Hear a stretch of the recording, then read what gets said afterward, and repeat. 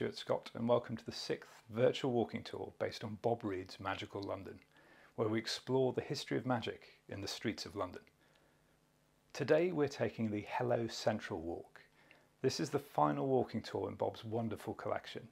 This tour is a bit of a monster, so with so many places to visit and so many stories to hear, uh, I've opted to split this tour over two different videos, so feel free to either watch them individually or back to back, it's up to you. The first part of the tour takes us from BBC Broadcasting House to the location of St George's Hall, past the home of Pepper's Ghost, to the Palladium Theatre, then down Regent Street to the world's finest toy shop, and finally to Piccadilly Circus. As ever, we'll be using photos, videos, maps and Google Street View to take you around following Bob's guidebook notes. The tour's based on Bob's original 2005 tour, but it does have a few embellishments from me.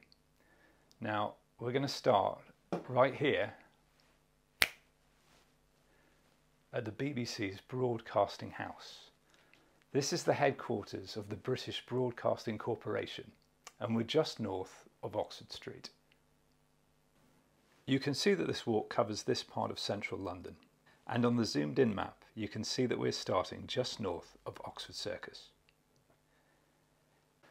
The first radio broadcasts were made from this building in 1932. It's the home to the BBC's Radio Theatre, where music and speech programmes are recorded in front of live studio audiences. There's quite a history of magic and magicians on the radio. In the 1920s, magician and radio broadcaster A.J. Alan was featured on the BBC. A.J. Alan was the stage name of Leslie Harrison Lambert, born in 1833. Lambert trained as a surveyor before learning magic and joining the Magic Circle. During World War I, he became a radio ham, and at the start of the war, he volunteered to work at the Coast Guard station in Norfolk, intercepting German radio transmissions. By November 1914, he was employed by the Admiralty, working out of Naval Intelligence Room 40, although officially he was working for the Foreign Office. In 1919, Room 40 became part of the new Government Code and Cipher School, and eventually Lambert transferred to Bletchley Park, by which time he was an important official in Navy intelligence. Between the war, he contacted the BBC and suggested that he might tell one of his short stories on the radio. His offer was accepted, and he broadcast My Adventure in Jermyn Street on the 31st of January 1924. Following his immediate success, he quickly became one of the most popular broadcasting personalities of the time. He went to considerable trouble over writing each story, taking a couple of months over each one, and only broadcasting about five times a year. He carefully constructed an apparently conversational style, making his stories seem like anecdotes concerning strange events that happened to him. The endings were whimsical and unexpected. Three collections of his stories were published. He made his last broadcast on the 21st of March 1940.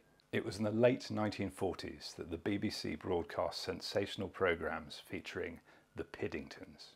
Sidney Piddington, born in 1918, and Leslie Piddington, born in 1925, were an Australian husband and wife performing duo specialising in mentalism. They presented one of the most famous stage and radio telepathy acts of the modern age. Sidney spent time in Changi Prison of War camp during World War II. He developed a mentalism act as entertainment for the other troops. During this time, he developed unique and innovative techniques to give the appearance of mind reading. Sidney and Leslie met after the war when she was a leading lady at the Minerva Theatre in Sydney, Australia. They performed many amazing acts for the BBC. These included the diving bell experiment, where Leslie was submerged in a diving bell in a swimming pool in Surrey while Sydney conducted tests with a live audience at the BBC studios in central London. There was the Tower of London test, where Leslie was kept under armed guard at the Tower of London and Sydney was in the studio. Even at that distance, Leslie was able to determine which items members of the live audience were holding up.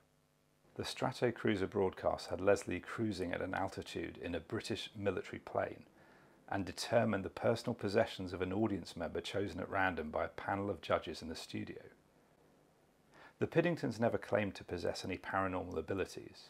Their cunning methods were a closely guarded secret, unknown to even the BBC producers. Following Sidney's death in 1991, Leslie is said to have told her grandson, Even if I wanted to tell you how it was done, I don't think you'd be able. To this day, the Piddingtons are considered one of the greatest two person telepathy acts of all time. Moving forward to the 1990s, you ought to meet Brian Sibley. In 1996, broadcaster and Magic Circle member Brian Sibley produced a BBC Two radio show, Magic Moments, which celebrated 90 years of the Magic Circle. The show featured a host of magic talent, including David Berglas, Bobby Bernard, Eddie Dawes, Jack Delvin, Ian Keeble, and David Weeks. Brian has an impressive history on radio as a broadcaster and writer. He co-wrote the classic 1981 adaptation of The Lord of the Rings, dealing with an entire magical world. The epic show consisted of 26 half-hour long episodes, with voice talents including Ian Holm and Bill Nighy. Brian Sibley has also served as chair of the Magic Circle Council and chair of the Magic Circle Foundation. Chris Cox is a magician and mentalist. He's appeared on Children's BBC in BBC Three's Killer Magic, and he also toured with The Illusionists, as well as being in the West End's Impossible show. He's the only mind reader in history to play Broadway, London's West End, and Sydney Opera House. Chris also has a radio career and was the writer and producer for Matt Edmonds on BBC Radio 1 and the assistant producer on The Chris Moyles Show. Of course, these days it's all podcasts, and in the world of British magic, there is one podcast that sits head and shoulders above the others. Richard Young's The Magicians podcast ran from October 2014. Each episode was an interview with a different magician. The list of guests reads like a who's who of the world's most famous magicians. People like Teller, Mac King, Wayne Dobson, Hans Klok, Derren Brown, Debbie McGee, David Berglas, Piff the Magic Dragon, Dynamo, and David Williamson. And that doesn't even begin to scratch the surface. Each episode is a full length interview with a magic professional. Richard Young, the host of the show, is an Oxford based magician specialising in close up magic. He's a member of the Inner Magic Circle with Gold Star and has appeared on Penn and Teller Fool Us with his stage partner Sam Strange, as well as touring with the Champions of Magic. Now, just to the south of the building, we can find a plaque commemorating where the Queen's Hall was. Queen's Hall stood here from 1893 to 1941 and it was a leading concert hall. It was destroyed during the Blitz. You can see on the map that it was adjacent to St George's Hall. Number 4 Langham Place was the entrance to St George's Hall. The hall was built in 1867 and it was only in 1890 that the numbers 20 and 21 were demolished for the Queen's Hall. The entrance to St George's Hall was moved to Mortimer Street. St George's Hall could accommodate 800 to 900 people, or up to 1,500 including the galleries. For three decades, it was known for its presentations of the German Reed entertainments, alongside other musical works and lectures. And it was here, in 1867, that the Davenport brothers performed. Ira Erastus Davenport, born in 1839, and his brother, William Henry Davenport, born in 1841, the sons of a policeman from Buffalo, New York, claimed to have supernatural abilities, and they toured the world performing demonstrations of apparent spiritual contact. They began performing their act in 1854, less than a decade after spiritualism had taken off in America, following the tales of the Fox sisters. Their father would manage them, and the group was also joined by one William Fay, a fellow resident of Buffalo and a magician. The act was introduced by a spiritualist minister who assured the audience that the brothers worked by spirit power rather than underhanded trickery. The Davenport brothers' most famous effect was the box illusion, or spirit cabinet. The brothers would sit inside a large cabinet along with various musical instruments. They would be tied up to ensure there was no possibility of them interfering with the instruments. The doors of the cabinet would be closed, and suddenly the instruments could be heard. When the doors were reopened, the brothers were still tied up in their positions. Many who witnessed these feats were convinced that supernatural forces were the only possible explanation. Various magicians would expose the trickery of the Davenport brothers, including Scottish magician John Henry Anderson, Frenchman Jean-Eugène Robert Houdin, and American John Mulholland. In his book, A Magician Among the Spirits, Houdini would report that Ira Davenport confessed that he and his brother had faked their spirit phenomena. The Davenports toured the US for 10 years before travelling to England. Their act at St George's Hall would incense one 26 year old man in the audience, the magician J.N. Maskelyne. Maskelyne, a born showman, stood up in the auditorium and informed the audience that the Americans' tricks were done with dexterity and there was nothing supernatural. He even promised to duplicate every part of the act within three months. And he did. Born in 1839 in Cheltenham, John Nevil Maskelyne became a trainee watchmaker with a gift for constructing mechanical illusions such as singing canaries in cages or clockwork beetles, which were all the rage in the early Victorian era.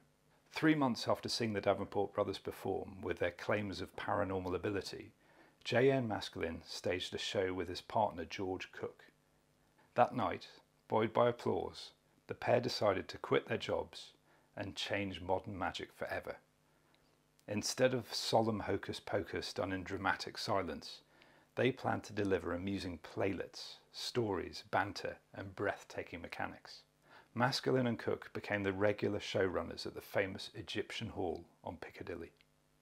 After the German Reed Entertainment shut up shop at St George's Hall in 1895, the building changed its name to the Matinee Theatre and presented high-class vaudeville. But this did not prove successful and it eventually closed in 1904. In 1905, John Nevil Maskelyne renovated, expanded, and reopened it as St George Hall, England's new home of mystery. Maskelyne would stage magic shows through Maskelyne's Theatre of Mystery. The theatre also hosted meetings of the Magic Circle. The venue was acquired for the BBC in 1933 for broadcasts of vaudeville, comedy, and revue shows. It sustained extensive damage during the Blitz in 1943 and was finally demolished in 1966. We now head around the BBC to Langham Street and just behind us is Middleton Place, which was the home to Middleton Buildings. If we take a look at the map, you can see our route here. Somewhat bizarrely, of the two signs at the north part of the street, one proclaims it is formerly Middleton Buildings, while the other, more modern one, claims it was formerly Middleton Buildings. Either way, Middleton Buildings was home to Routledge, the publishers. Established in 1836, they found success publishing works of fiction to rail travellers. As well as the likes of Beatrix Potter, they also published the works of Professor Hoffmann. Professor Hoffmann was the pseudonym of Angelo John Lewis, born in 1839. He was an English barrister and writer who had been described as the most prolific and influential magic author and translator until modern times. Lewis was born in London in 1839. He became a barrister in 1861 and in the early 1860s learned magic from a book and became an amateur magician. It was in 1873 that he published a series of articles in Routledge's Every Boy's Annual. This would launch his career as an author of magic books. His articles would be expanded into the classic magic book, Modern Magic, first published in 1876. He used the pen name Professor Hoffmann because he feared his professional prospects as a lawyer might be damaged if it became known that he possessed such an intimate knowledge of the art of deception. He authored a children's book called Conjurer Dick in 1886. His classic, Modern Magic, sold out its first run of 2,000 books in just seven weeks. It had three sequels. More Magic, published in 1890, Later Magic in 1903, and Latest Magic in 1918. They've all been reprinted numerous times and are still in print, and they're used by magic enthusiasts today. First editions of Modern Magic command high values both in the world of magic and amongst collectors of rare books. Modern magic covered a wide range of topics from coin and card magic to magic with watches, rings, dominoes and dice. We're now going to head back to Langham Place and behind me you can see the Langham Hotel but we're going to keep going south to Westminster University. And here we are. So inside is the Regent Street Cinema and this venue was made famous by Professor Pepper and it was here that Trewey exhibited early movies. It's regarded as the birthplace of British cinema. You can now see our route on the map. Regent Street Cinema was opened in 1848 and featured the first motion picture show in the UK. It was housed in the flagship building of the Royal Polytechnic Institution, which is now known as Westminster University. When it was first opened, it was used as a theatre. In late February 1896, the cinema played a short movie by the famed Lumiere brothers. In 1951, it screened La vie commence demain, or Life Begins Tomorrow, an X rated French movie. It was X rated due to its war imagery. It continued to screen films for 84 years until it was closed for 34 years from 1980 to 2015. But you can catch the latest movies here today. Friend of the Lumiere brothers and one of their regular screen actors was Frenchman Felicien Trewey. It was Trewey who screened the first films here on Regent Street. Trewey appeared in the films shown right here. He was a magician, comedian, tightrope walker, balance artist, dancer, musician, card thrower, and mime artist. He also performed shadowgraphy, making images with his hands, and chapeaugraphy, creating shapes with his hat. At seven years old, he decided to become a magician when he saw a conjurer performing at a circus in Marseille.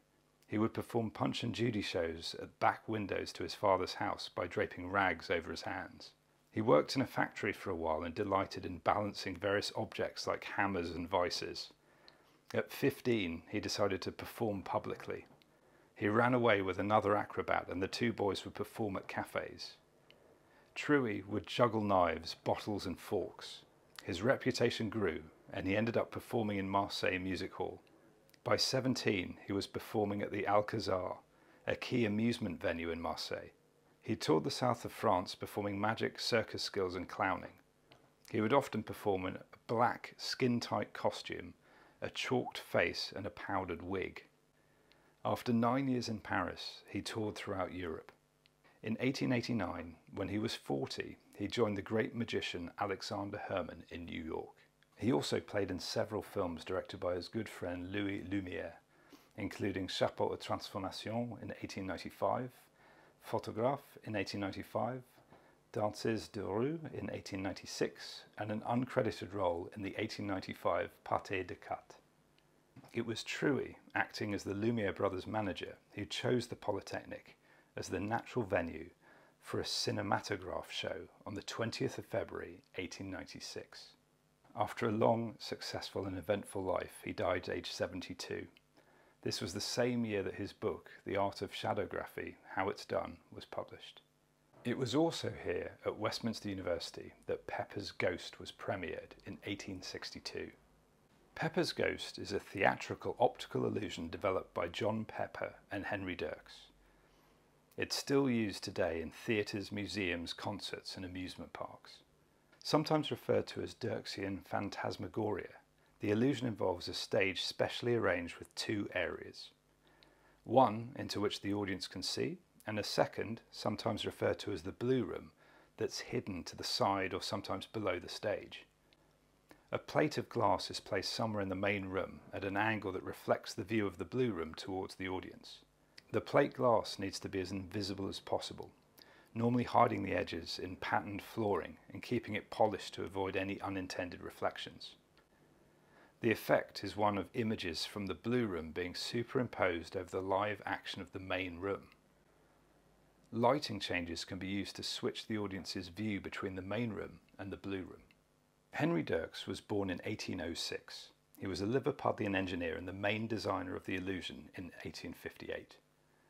He was a practical engineer with experience of railways, canals and mining work before becoming a consulting engineer. He also investigated attempts at the invention of a perpetual motion device, writing that those who sought to create such a thing were half learned or totally ignorant. John Henry Pepper was born in Westminster in 1821. He was a British scientist and inventor who toured the English speaking world with his scientific demonstrations. He entertained royalty and fellow scientists with a wide range of technological innovations. He first lectured here at the Royal Polytechnic Institution in 1847. By the early 1850s, he was its director. He oversaw the introduction of evening lectures and he became highly regarded as a science performer and often went by the name Professor Pepper. He regularly demonstrated a range of scientific and technological innovations with the intention of entertaining and educating the audience about how they worked. Pepper debuted his ghost illusion after taking out a joint patent with Dircks. It was a Christmas Eve production of Charles Dickens' play The Haunted Man in 1862. An actor would appear like an ethereal, ghost like creature able to move among the other actors on stage. Dircks signed over all financial rights to Pepper, and the illusion would take Pepper's name, becoming known as Pepper's Ghost, much to the frustration of Dircks, even though Pepper insisted that Dircks should have shared credit. Various audience members were intrigued by the effect, and people would return repeatedly to attempt to work out how it was done. Famed physicist Michael Faraday eventually gave up and requested an explanation. Pepper had many other interesting accomplishments.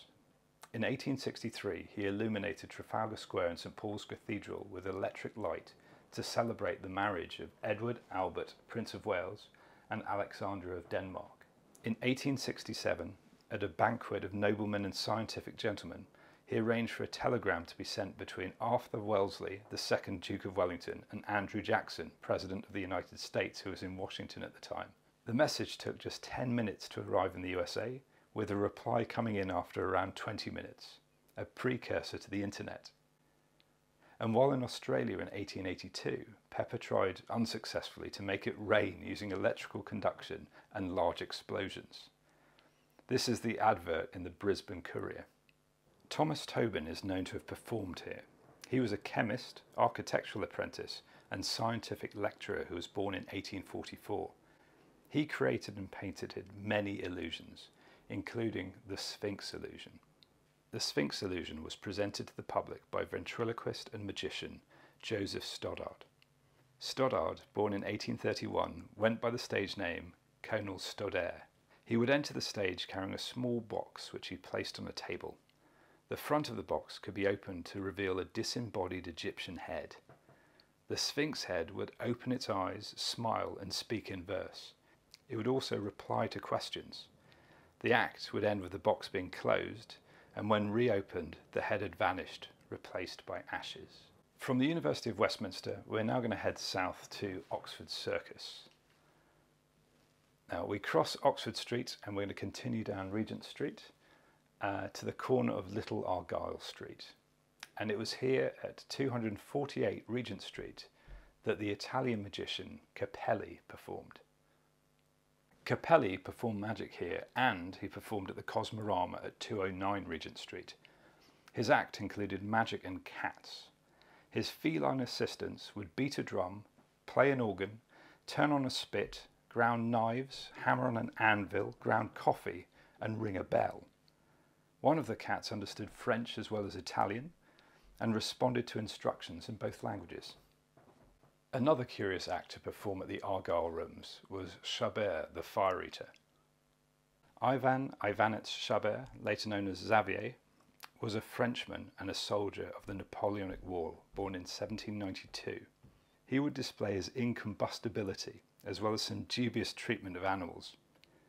He performed as the Fire King in London in 1818, and his act included holding his hand over flames, inhaling vapours, and his pièce de résistance was a brilliant firework display about his person, leaving his shirt burnt off his back. He would eat phosphorus and then wash it down with arsenic. He'd swallow boiling oil and reach into molten lead with his naked hand. He also offered to imbibe prussic acid, the most powerful known poison, if any good natured person could furnish him with it. When Dr. Thomas Wakley of the Lancet heard about this claim, he felt that any antidote to prussic acid should be shared with the medical community. He duly arrived at a performance with prussic acid, but Chabert declined to swallow it, instead claiming he'd administer it to his two dogs. One would die, and one would survive if administered Chabert's antidote. This understandably angered the audience, and he clearly underestimated the British love of animals. His popularity waned somewhat after this episode. Another grand illusion he performed was being sealed in a large oven which was heated to 104.5 degrees Celsius or 220 degrees Fahrenheit, and he'd remain in there talking to the audience through a metal tube while a rump steak and a leg of lamb cooked next to him. On the opposite side of Regent Street, you can find Hanover Square, and this was the location of the Hanover Rooms. Now, this was another location that showed a lot of magic acts, including the Davenport brothers. But we're going to turn and we're going to head down Little Argyle Street, and at the end of the street, we find the London Palladium. Originally, it was opened in 1871 as Hengler's Circus, but it was later rebuilt in 1910, and the rebuild was designed by Frank Matcham. Hengler's Circus, or Hengler's Grand Cirque, stood on the site of the home of the Dukes of Argyll, Argyll House. The land was acquired by Charles Hengler, a lifelong circus performer, who opened his circus here in 1871. It had a capacity of 1,090 However, when it was condemned as a fire hazard, it had to be rebuilt in 1884. After Hengler's death in 1887, his sons took over, but circus was falling out of favour. In 1895, it became the National Skating Palace, famed for having real ice, and in 1905, it was renamed the Royal Italian Circus. But by this time, the London Hippodrome was already a success as a combined circus and music hall. In 1910, a new music hall was built and the London Palladium was opened on the 26th of December. The building was brilliant in white and gold with seating in warm red. It was reported that the house sounds the last word in luxury and appointment. It was designed by English architect Frank Matcham. Frank Matcham was born in Devon in 1854 and specialised in the design of theatres and music halls. He worked extensively in London he designed the Hippodrome in 1900, the Hackney Empire in 1901, the Colosseum in 1903, and the Palladium in 1910. He also worked on the Tower Ballroom at Blackpool Tower and the Grand Theatre in Blackpool. His last commission was the Victoria Palace in 1911. His designs made use of cantilevers for galleries to avoid using columns that might obscure eye lines, and his auditorium decorations mixed Tudor strapwork, Louis XIV detail, Anglo-Indian motifs, naval and military insignature, Rococo panels, classical statuary, and Baroque columns. During his 40-year career, Matcham was responsible for the design and construction of over 90 theatres and the redesign and refurbishment of a further 80 throughout the UK. So the question then is, who performed at the Palladium? Well, the list is long and it reads very much like a who's who of magic past and present. In 1911, the great Rameses and Buatier de Kolta performed here. Rameses was the stage name of Albert Machinsky, a Polish magician born in 1876. He performed as the Egyptian wonder worker, and it's said that he was inspired by the American magician William Ellsworth Robinson, whose stage persona was the Chinese magician Chung Ling Soo. Machinsky had the honour of being the first magician to perform at the Palladium. He became a highly paid music hall artist with shows that contained large illusions, including making assistants appear from small pyramids, using an automaton, which was actually an assistant, producing a duck, and Aisha, Queen of the Air, where he levitated an assistant while she danced and skipped. One of his younger assistants was Maurice Fogel, who would become a famous magician and mentalist. Buatier de Kolta was a French magician born in 1847. He was an innovator in mechanical magic, and many of his illusions are still performed today, including spring flowers, the multiplying billiard balls, expanding cube, and vanishing birdcage. In the world of magic, he's best remembered for the vanishing woman illusion, where an assistant seated in a chair, covered with a large cloth, and then would vanish completely. Joseph Robert Poulin, an American born in 1874, performed his stage hypnosis act here in 1912 under the stage name Pauline. He started out as a hypnotic subject, but then engaged in the services of a prominent vaudeville director. Almost overnight, Pauline became a star and one of the highest paid performers in vaudeville. He had put an audience member under his spell, commanding them to go rigid, a word that became a popular catchphrase of the day. He was able to balance three grown men on top of a young boy without any injury to the boy. He was able to drain and return blood to a participant's arm, leading to another catchphrase, I want blood. He was clearly a respected hypnotist as well as an impressive performer, authoring a book on catalepsy and psychotherapeutics in 1915. Chapters covered psychology of business, the law of suggestion in advertising, and details of his own discovery of blood control. All of which might go some way to explain why the subject in the photos from his books looks absolutely terrified. After the Palladium, he toured in Europe and returned to the US as Professor de Pauline, the French hypnotist, often billing himself as the world's greatest psychologist and hypnotist. His career almost ended in 1925 when he was convicted and sentenced to jail for throwing a waiter off the ninth floor of a New York hotel. Carmo took to the stage here in 1920 and again in 1945. Carmo, or the Great Carmo, was an Australian magician, Harry Cameron, born in Brunswick, Melbourne in 1881. Harry didn't tell his parents about his interest in circus and showmanship, frequenting theatre shows without their knowledge. When his father found out about his clandestine plans to join a circus, Harry was issued with the ultimatum either abandon show business or leave home. Naturally, Harry opted to leave home. He began his career as a strongman and learned wire walking, juggling, quick change, and impressions. He learned magic from Victor Martin, Victor's son, Topper Martin, would become a famous juggler and magician. He went on to work with Servais Le Roy in 1905, which would influence his magic career. His journey to England in 1907 was not without issue. His ship, the White Star liner Suevic, hit rocks off Lizard Point in Cornwall. While everyone survived, Harry lost his luggage, but thankfully was able to recover his props. He narrowly avoided a similar disaster when he almost booked passage on the Lusitania in 1915. It was sunk by a German U-boat. He toured the British Isles with an act featuring animals, including a Bengal tiger, an elephant, a leopard, a horse, snakes, and a lion. He performed an illusion that became known as Thrown to the Lions. It was considered one of the greatest magic tricks of its time, richly costumed, a silent stage drama with music and lighting. He's also known for the Carmo beads routine, where a handful of beads and a piece of string are swallowed and brought out strung again. As with many magicians of the era, it was common for him to adopt the regalia of other cultures. Here, he's dressed in Arabian-style clothes and shoes. Other performers included Ade Duval in 1934.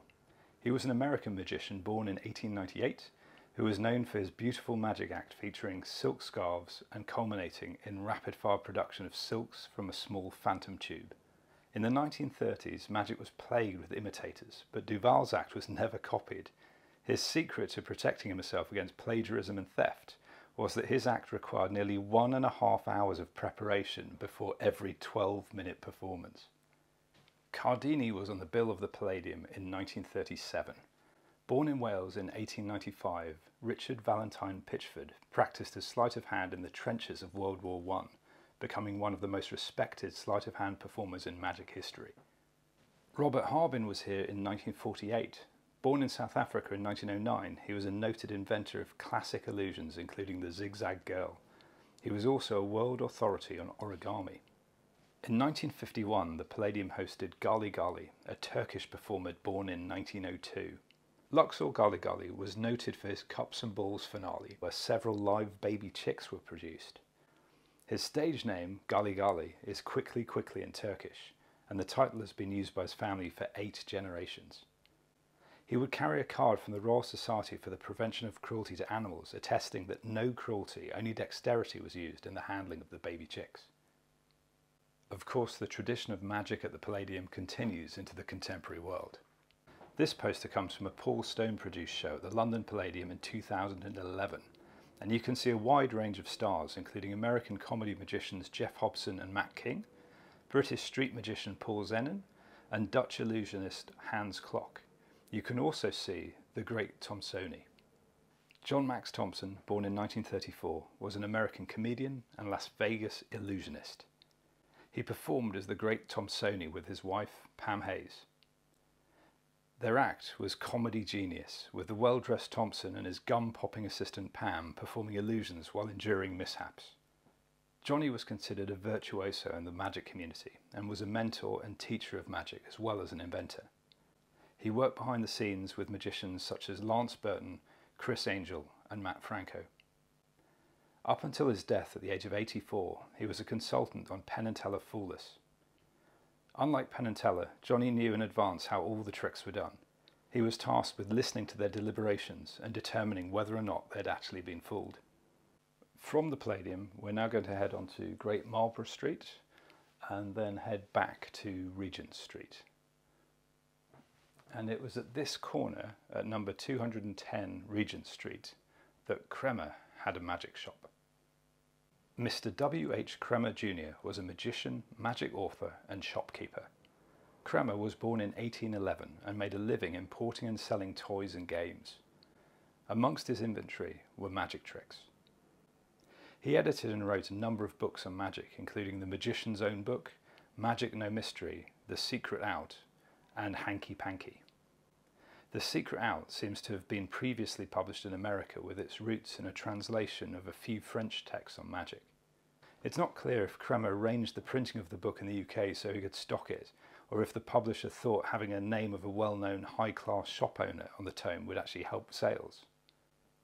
Either way, it seems Cremer had little to do with the actual content.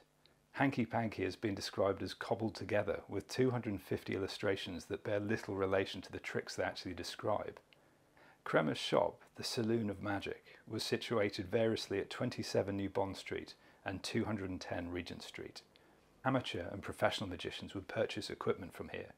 One frequent customer was Lewis Carroll. Charles Lutwidge Dodgson was born in 1832. He would become an Oxford Don and a lecturer in mathematics. He would also become an amateur magician. Neither of these pursuits would make him as famous as his writing. It was as Lewis Carroll that he would publish Alice in Wonderland and Alice Through the Looking Glass. As a child, he would dress in a long white robe and brown wig to amaze his audiences. He constructed a marionette theatre with the help of his family and a local carpenter, and presented plays that he himself had written. His great works of fiction clearly employ conjuring motifs, including uh, the White Rabbit and living playing cards. Carroll is known to have been influenced by Herr Dobler, a conjurer, most likely George Buck from Bristol, an excellent sleight of hand performer. Carroll would have seen this performance in 1863 in Cheltenham.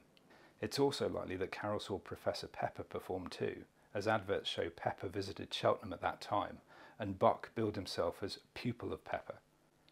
Indeed, the Cheshire Cat, which vanishes quite slowly, beginning with the end of the tail and ending with the grin, could well be described as a Pepper's ghost effect.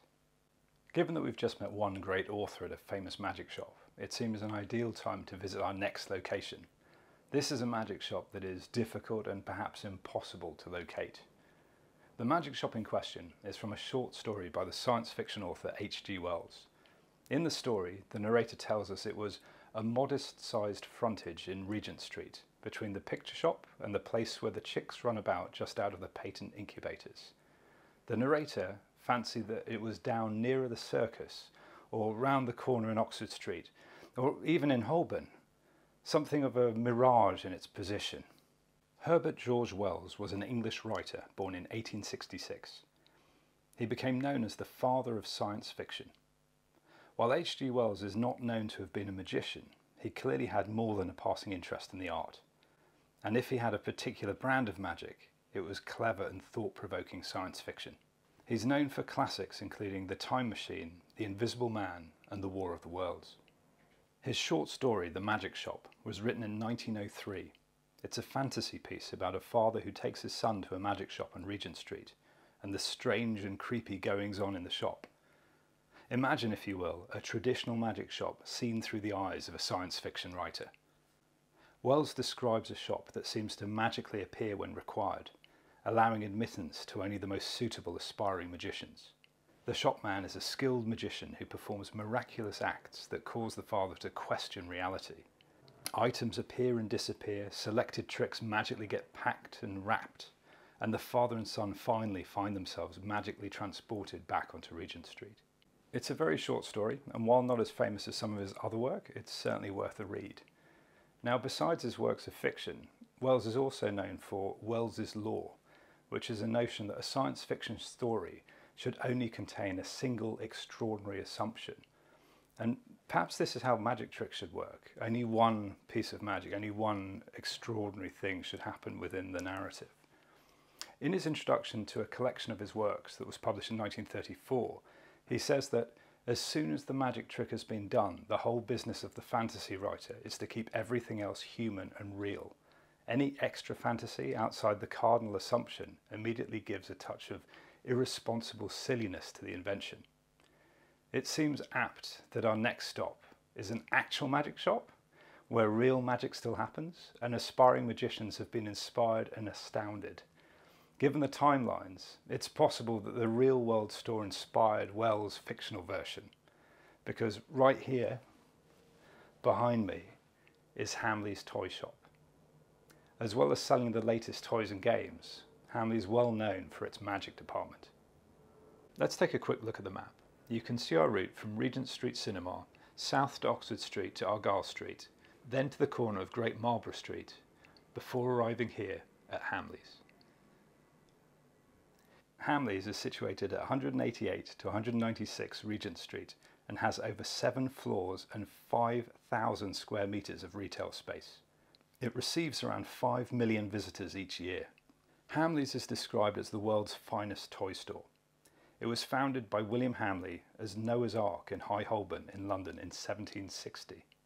It opened its flagship Regent Street branch in 1881 and in 1898 it was further expanded when the store acquired Joseph Bland's establishment, the Magical Palace of Wonders. Joseph Bland was born in the early 1800s and is thought to have worked as a dance instructor before becoming a magician and the most famous and respected magic dealer in Victorian London. He started his dealership in 1855 and had a number of shops that sold magic apparatus. Many of his effects were described by Professor Hoffmann in his books Modern Magic and More Magic. In 1863, he moved into a shop at 35 New Oxford Street and it was after his death in 1898 that his business was taken over by Hamleys. If you visit the Magic Circle Museum, you can see a recreation of the front window of Bland's Magic Palace. Hamleys was a family company, and one important member was John Hamley. He was well known in the world of conjurers. He was the manager and sometimes a guiding spirit of Hamley's magic saloons. He was described as being clever and dexterous in sleight of hand. He was also the creator of numerous ingenious illusions, often without due credit. He was covered on the front page spread of Mahatma magazine in August 1899. Business boomed for Hamleys. The Regent Street store was quite a spectacle with toys, puppets, pedal cars and miniature railway trains. This image is from a Hamleys catalogue that predates the First World War. You can see the address in Paris and Nuremberg. Prices at this time could not be guaranteed on account of the impending war. By the late 1920s, Hamleys, like other businesses during the Depression, was going through hard times. In 1931, the shop was forced to close temporarily for the first time, and its fleet of horse-drawn delivery vans was stopped. This catalogue page is from 1937. It shows various mysterious and magical items, including a crystal ball, fortune-telling cup and saucer, fortune-telling cards, and even a planchette for a Ouija board. In 1938, the company had been bought out and reopened. In the same year, Hamleys received a royal warrant from Queen Mary. Hamleys stayed open during World War II, despite being bombed no less than five times. Staff in tin hats would serve at the shop entrance, rushing in to collect the toys and handing them over at the door. Hamleys would sell their own brand of magic sets for many years. Here's Hamleys Cabinet of Magic set from 1900 to 1910. It contains a black rubber ball that slides down a string, stopping wherever the magician wants it to. There's an egg vase, there's the hammer trick, a dice trick, a glass tumbler, the pepper box, as well as multiplying pennies, card tricks and various other things. This later magic set contains card tricks, a ghost tube and a magic wand, as well as Magic Circle and David Berglas branded items. Of course the Berglas family name would become synonymous with magic at Hamleys. Marvin Berglas created Marvin's Magic, launching its first magic sets in 1987.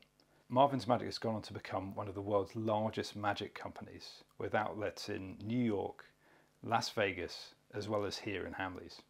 Marvin's Magic employs demonstrators or DEMs, magicians who perform the tricks, encouraging shoppers to buy the right magic set or trick for their particular needs. DEMs tend to be younger, upcoming magicians, and many of the most successful magicians around the UK today are Marvin's Magic alumni.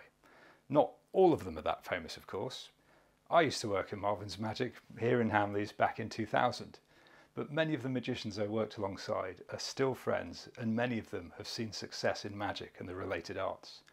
People like magician, actor and voice artist Robbie McNabb. Robbie is now the Magic Circle's welfare officer. There was also Callum McGregor, producer of a series of London based magic spectacular shows and the nephew of magician Lord John McGregor. There's Alex Lodge, an international illusionist who has appeared on shows like The Sorcerer's Apprentice, Britain's Got Talent, and Cruising with the Stars. Kelvin Wilmoth, a South African stage performer who now lives in New Zealand, where he performs as Pops, a kids' entertainer. Tarek Knight, a stage, close up, and TV magician who's appeared on The Sorcerer's Apprentice, Channel 4's Freaky, Playing Tricks, and even Celebrity Ready Steady Cook.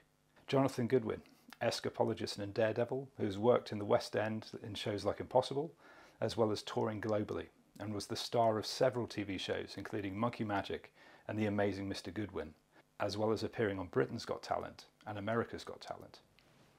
And those are just the magicians I worked with over 20 years ago.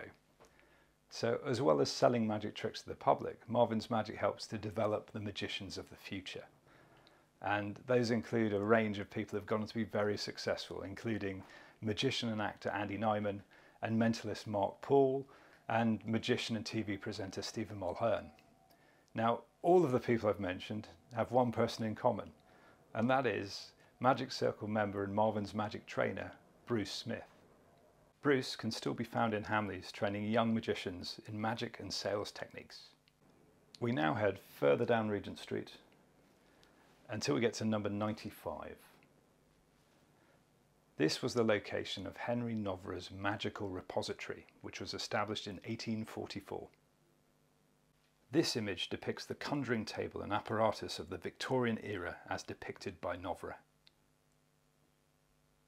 Before we leave Regent Street, we should consider what we would have seen here in 1959.